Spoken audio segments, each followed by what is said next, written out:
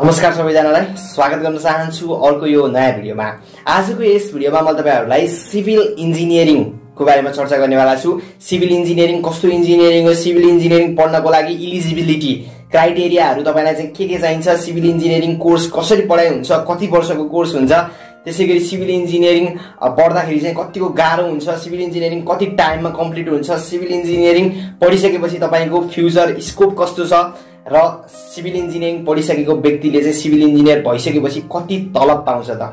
सम्पूर्ण कुराको detail information मैले यो भिडियोमा तपाईँलाई दिनेवाला छु। त्यस कारण तपाईँले सिभिल इन्जिनियरिङ पढ्ने सोच्नु भएको छ। सिभिल इन्जिनियरिङको बारेमा जान्ने कोसिस तपाईँलाई छ भने यो भिडियो तपाईँको लागि निकै नै इम्पोर्टेन्ट हुनसक्छ। सो भिडियो अन्तिमसम्म हेरेर साथ दिनु होला है त।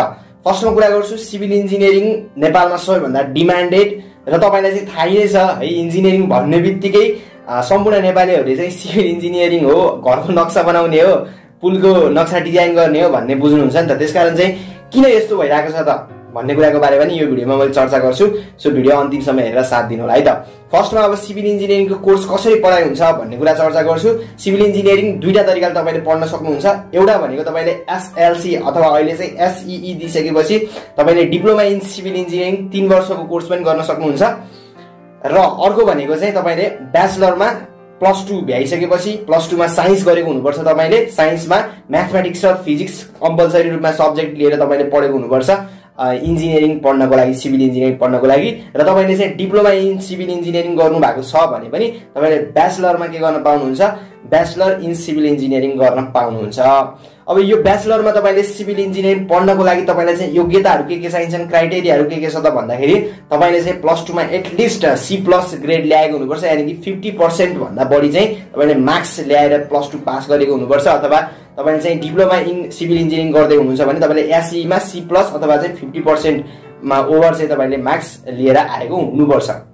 यति भइसकेपछि तपाईँले चाहिँ सिभिल इन्जिनियरिङ पढ्नको लागि नेपालमा कहाँ कहाँ पढाइ हुन्छ नि त भन्ने विषयमा म चर्चा गर्छु। नेपालमा चाहिँ अहिले युनिभर्सिटीहरू जस्तो कि Tribhuvan university Kathmandu university Pokhara university Purbanchal university त्यसै गरी मध्य पश्चिम युनिभर्सिटी मिड वेस्टर्न युनिभर्सिटी भन्छ र फास्ट फार वेस्टर्न युनिभर्सिटी यी युनिभर्सिटीहरूले सिभिल इन्जिनियरिङको कोर्स अफर गरिरहेका छन् र त्रिभुवन युनिभर्सिटीमा चारवटा सरकारी कलेजहरू छ र दसवटा प्राइभेट कलेजहरू छन्।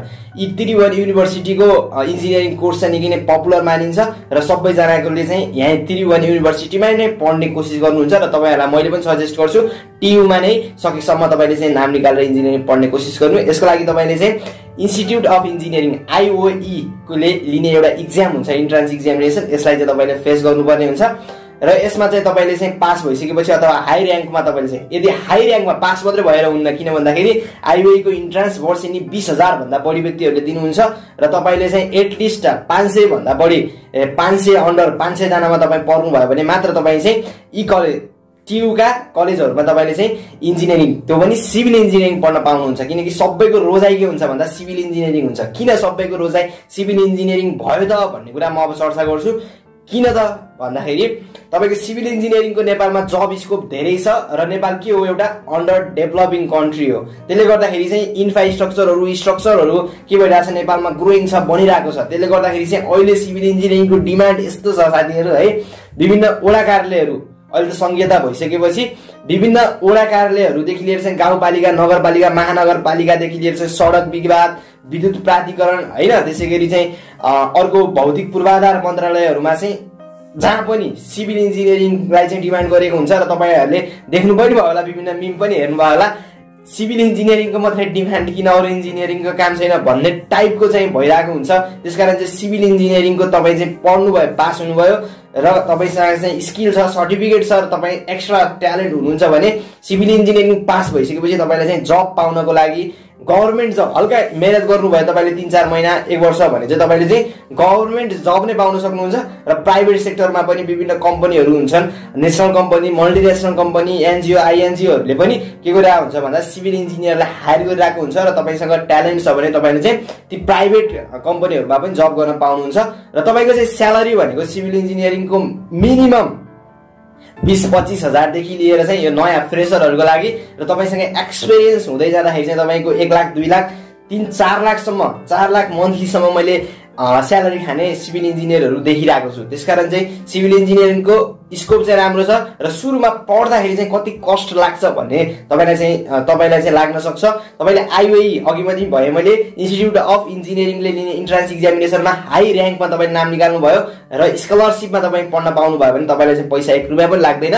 त्यसै गरी तपाईँले चाहिँ पेमेन्टमा पढ्न भनेको पेमेन्टमा पढ्नको लागि पनि त्रिभुवन युनिभर्सिटीले मा पढ्न तपाईँ चाहनुहुन्छ भने चाहिँ हाई ऱ्याङ्कमा नै नाम निकाल्नुपर्छ। बिस हजार विद्यार्थीहरू बिच तपाईँले कम्पिटिसन गरेर तिनीहरूभन्दा सक्षम हुनुपर्छ।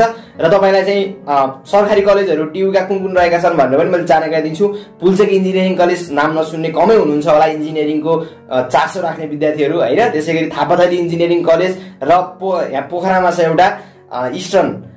पोखरामा भएको वेस्टर्न रिजनल क्याम्पस र उता पूर्वाञ्चलमा भएको धरानमा भएको इस्टर्न रिजनल क्याम्पस।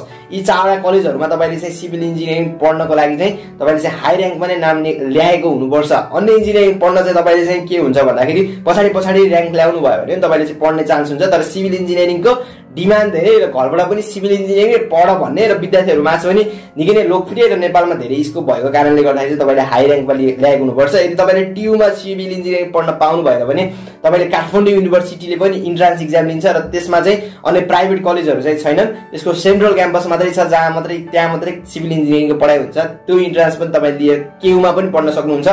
अब टियुमा पढ्दाखेरि टियुको सरकारी क्याम्पसमा पढ्दाखेरि तपाईँलाई चाहिँ तिन लाख पैसामा चाहिँ तपाईँको सिभिल इन्जिनियरिङ कम्प्लिट हुन्छ र टियुकै तपाईँले प्राइभेट कलेजहरू अथवा चाहिँ अन्य कलेज अन्य युनिभर्सिटीका एफलेटेड प्राइभेट कलेजहरूमा तपाईँले चाहिँ पढ्नुभयो भने चाहिँ तपाईँलाई चाहिँ मिनिमम पनि सात आठ लाखदेखि चाहिँ पन्ध्र बिस लाखसम्म तपाईँको इन्जिनियरिङको चार वर्षको कोर्स कम्प्लिट गर्नको लागि तपाईँको चाहिँ फी तपाईँले बुझाउनु पर्ने हुन्छ। त्यसै गरी अब पोखरा युनिभर्सिटीले लिने इन्ट्रान्स इक्जामिनेसन पनि तपाईँले चाहिँ फेस गर्न सक्नुहुन्छ।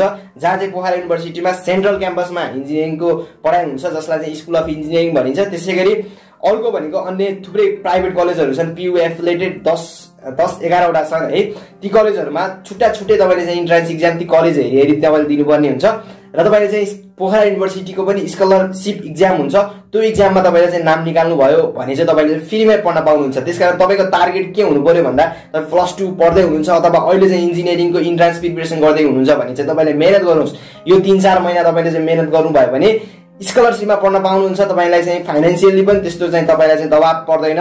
तपाईँ फाइनेन्सियली विक हुनुहुन्छ भने पनि तपाईँ ट्यालेन्ट हुनुहुन्छ भने स्कलरसिपमा नाम निकाल्न सक्नुहुन्छ। पुलचोकमै पनि आइओले लिनेमा पनि अथवा अन्य युनिभर्सिटीहरू केयुले पनि स्कलरसिपको इक्जाम लिन्छ। त्यसै गरी पियुले त्यसै गरी पूर्वाञ्चल युनिभर्सिटीले अन्य युनिभर्सिटीहरूले पनि लिन्छन्। त्यसै गरी अब म कुरा गर्छु पूर्वाञ्चल युनिभर्सिटीमा पनि एउटा सेन्ट्रल क्याम्पस छ जहाँ सिभिल इन्जिनियरिङ पढाइ हुन्छ र अरू भनेको चौधवटा त्यसका प्राइभेट एफिलेटेड कलेजहरू छन् जहाँ सिभिल इन्जिनियरिङको पढाइ हुन्छ। त्यसै गरी मिड वेस्टर्न युनिभर्सिटीमा पनि सेन्ट्रल क्याम्पसमा मात्रै सिभिल इन्जिनियरिङको पढाइ हुन्छ। त्यसै गरी फार वेस्टर्न युनिभर्सिटीमा पनि सेन्ट्रल क्याम्पसमा मात्रै सिभिल इन्जिनियरिङको पढाइ हुन्छ। सो साथीहरू सिभिल इन्जिनियरिङको स्कोप राम्रो छ तपाईँ ढुक्क भएर सिभिल इन्जिनियरिङ बन्ने सोच्नु भएको छ भने तपाईँले दायाँ बायाँ केही सोच्नु नै पर्दैन। नेपालमा यसको जतिको स्कोप अरू इन्जिनियरिङको सायदै यसको स्कोप सय पर्सेन्ट छ भने अरू इन्जिनियरिङको दस बिस पर्सेन्ट होला है। नेपालको परिप्रेक्ष्यमा। मैले नेपालको परिप्रेक्ष्यमा कुरा गरेछु र विदेशमा पनि सिभिल इन्जिनियरिङको डिमान्ड उत्तिकै छ।